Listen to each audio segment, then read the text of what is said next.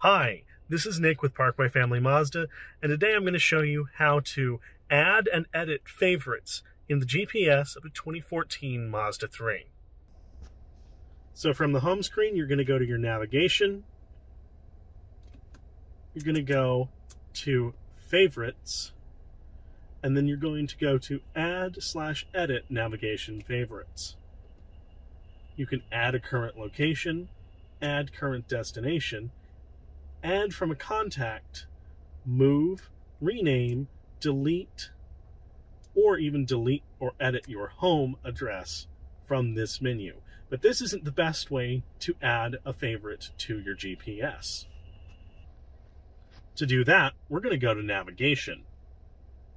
And then once that's loaded up, we're going to find a specific place that we want to add. So once we've got our location, we can choose to navigate to it, view it, view places nearby, or add to favorites. And that's what we're going to do.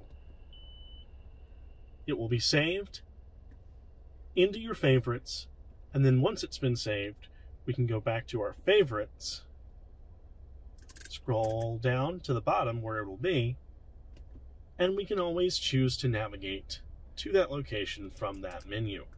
Now, let's say that you want to move this. Well, to do that, you'll go to your navigation favorites and select move. Then you'll select the one you want to move and select where you want to move it to. And now it'll be at the top of your list. Anyways, thanks for watching our video, and you can always contact me or our dealership if you need any help with your Mazda 3 2014.